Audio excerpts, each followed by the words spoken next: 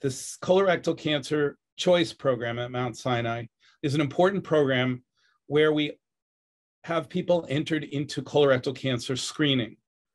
Patients who are eligible for colorectal cancer screening, and those are typically those at average risk starting at age 45 and continuing to age 75, although people outside those age ranges may be appropriate for screening as well, can enter the CRC Choice program.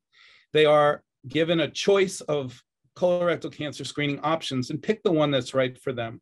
These typically include colonoscopy and stool-based testing. The patient picks the one that is appropriate for them along with their caregiver, hence the word choice.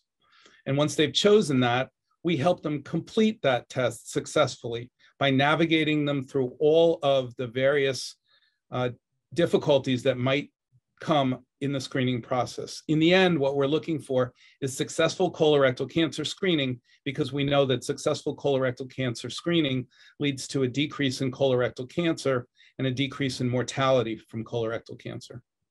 If you are interested in the colorectal cancer screening program, the CHOICE program, please call 212 824 7887 and we can give you more information or enroll you in the program.